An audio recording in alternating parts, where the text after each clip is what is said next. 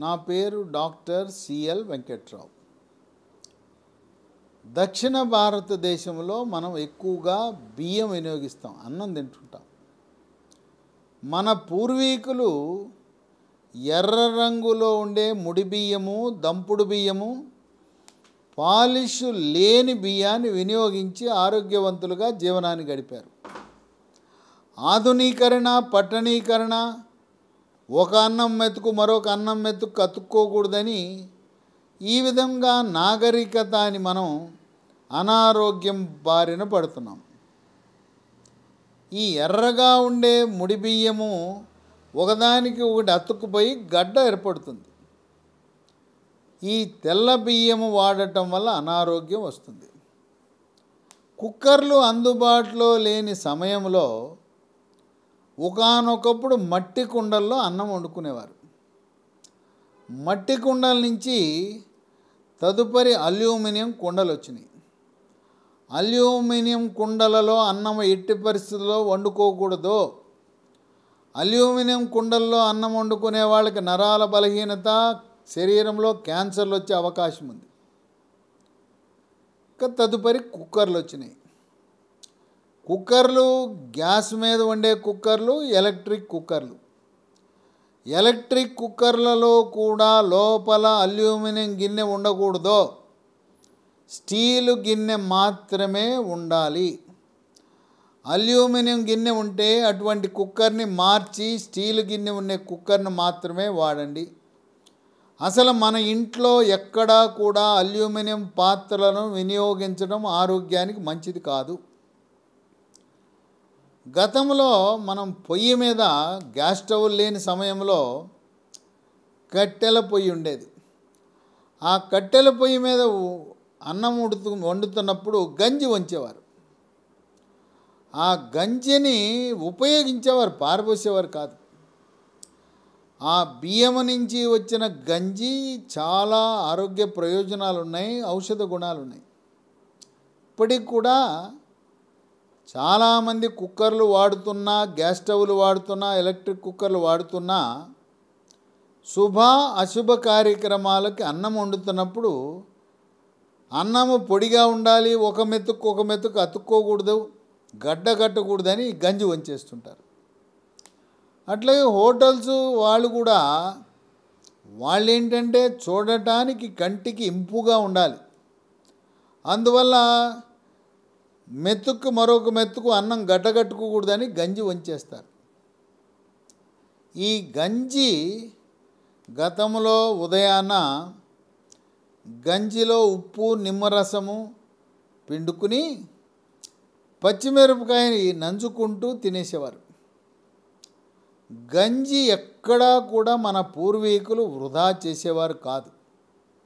దాంట్లో అనేక రకమైన ఆరోగ్య ప్రయోజనాలు ఔషధ గుణాలు ఉన్నాయనే సంగతి మన పూర్వీకులకు తెలవకపోయినా వాళ్ళు ఏమనేవారంటే దీంట్లో ఇది గంజి తాగితే బలం వస్తుంది బలం వస్తుంది. మనము బరువు పనులు చేయొచ్చు బస్తాలు మొయ్యొచ్చు. వ్యవసాయ కాయ కష్టం చేయటానికి గంజి చాలా కీలకం అని చెప్పేవారు. పది రకాల ఆరోగ్య ప్రయోజనాలు గంజి బియ్యపు గంజికి ఉండేవి మనం పరిశీలిస్తే మొట్టమొదటిది ఆరు నెలలు వచ్చిన పసికందులకు మనం ఆహారం ప్రారంభించాలి.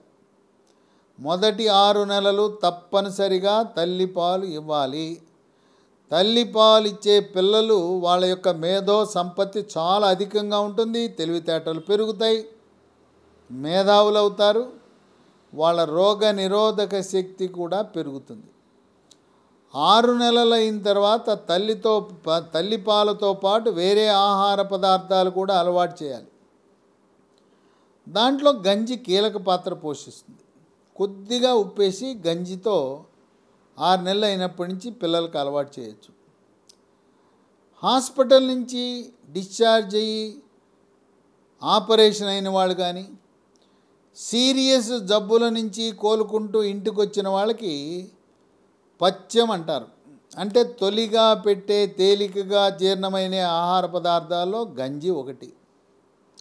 జ్వరాలు విష జ్వరాల నుంచి కోలుకున్నప్పుడు కానీ పెద్ద పెద్ద ఆపరేషన్లు అయ్యి వాళ్ళకి మొదటి రోజు ప్రారంభించే ఆహారము గంజి ఇస్తారు రెండు ఈ గంజిని చర్మం మీద రాస్తే చర్మము నలుపు విరిగిపోతుంది. చర్మము కాంతివంతంగా ఉంటుంది నిగనిగ మెరిసిపోతుంది. చర్మము యొక్క ఆరోగ్యాన్ని కాపాడుతూ సౌందర్య సాధనంగా కూడా పనిచేస్తుంది గంజి. ఒంటి మీద నల్లటి మచ్చలు ఎక్కడైనా ఉంటే సంకల్లో కానీ గజ్జల్లో కానీ నలుపు ఉంటే ఈ గంజి అక్కడ రాయటం ద్వారా ఆ నలుపు విరిగిపోతుంది శరీరం మీద ఉండే నల్ల మచ్చలు కూడా పోతాయి. ఇక మూడు వేసవి కాలంలో మనం బయటికి వెళ్ళినప్పుడు సూర్యరశ్మిలో అల్ట్రావైలెట్ కిరణాల ప్రభావం వల్ల ముఖం నల్లగా అయిపోతుంది. ముఖంపై వచ్చే మచ్చలు నల్ల మచ్చలు ముఖంపై ఈ గంజి రాయటం వల్ల ఆ అల్ట్రావైలెట్ కిరణాలకు విరుడు విరుగుడుగా పనిచేస్తుంది.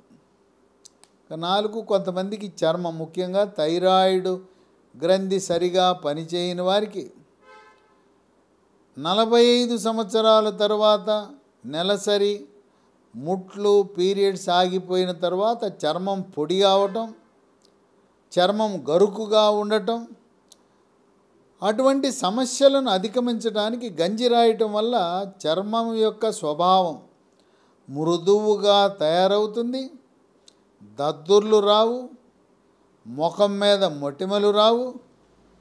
ఎగ్జిమా అని నీటి పొక్కులు కారు నీరు కారుతుంటుంది పొక్కుల నుంచి అది కూడా రాదు.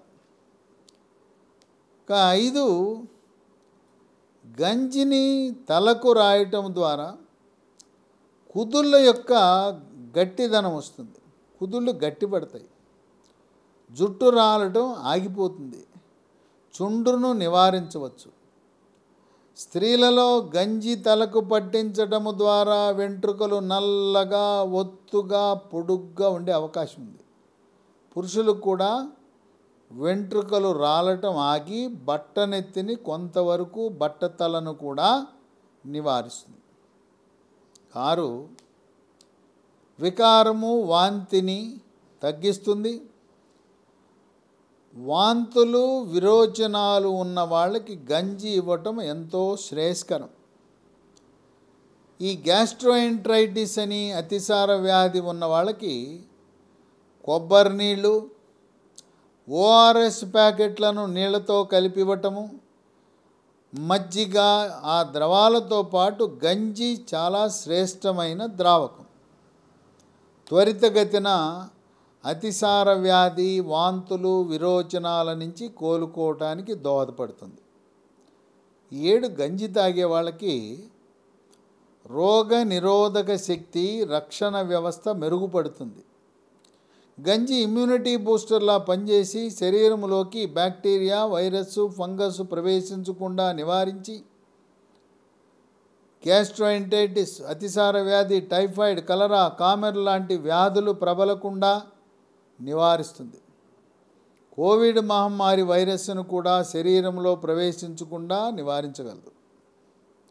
ఎనిమిది గంజి తాగితే తక్షణ శక్తి వస్తుంది క్రీడాకారులకు వర్కౌట్లు చేసేవారికి దేహదారుఢ్యాన్ని పెంచుకునే వారికి బౌన్సర్లకు మిలిటరీ పారామిలిటరీ పోలీసు లాంటి యూనిఫామ్ సేవలు అందించే వాళ్ళకి రూట్ మార్చులు చేసిన తరువాత గంజి తాగితే తక్షణ శక్తి వస్తుంది. అలసట పోతుంది. ఎవరిమైనా కొంతమంది నీరసం నీరసం వీక్నెస్ వీక్నెస్ అంటారు. తేలికగా అలసట వచ్చేవారు నీరసము వీక్నెస్ చేత కాదనేవాళ్ళు గంజి తాగటం ప్రారంభిస్తే గంజిలో కొద్దిగా ఉప్పు కూడా వేసుకోవాలి. ఆ నీరసం పోతుంది. వీక్నెస్ అలసట పోతుంది. తొమ్మిది కొంతమందికి ముఖం మీద చర్మంపై ముడతలు పడి వృద్ధాప్య ఛాయలు త్వరితగతిన వచ్చేస్తాయి. అటువంటి వృద్ధాప్య ఛాయలు తొందరగా చిన్న వయసులో రాకుండా గంజి నివారిస్తుంది. పది గంజి తాగితే జీర్ణశక్తి మెరుగుపడటము అజీర్తిని నివారించటము జీర్ణరసాలైన క్లోమరసము జఠరరసము పైత్యరసము యొక్క ఉత్పత్తి పెరిగి జీర్ణ ప్రక్రియ సాఫీగా జరుగుతూ మలబద్ధకాన్ని పూర్తిగా నివారిస్తుంది. మలబద్ధకం వల్ల మొలలు అరిసె మొలలు పైల్స్ అవి వస్తాయి.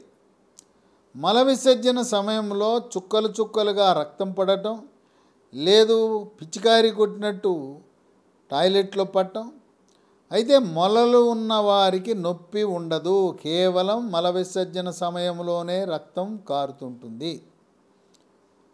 ఈ మలబద్ధకాన్ని నివారిస్తే పైల్సు మొలలు పూర్తిగా అరికట్టబడతాయి పూర్తిగా నయమైపోతాయి. మలబద్ధకం వల్ల మా మలద్వారము వద్ద ఉండే చర్మము నిలువుగా చీలి మల విసర్జన సమయంలో తీవ్రమైన నొప్పి వస్తుంది.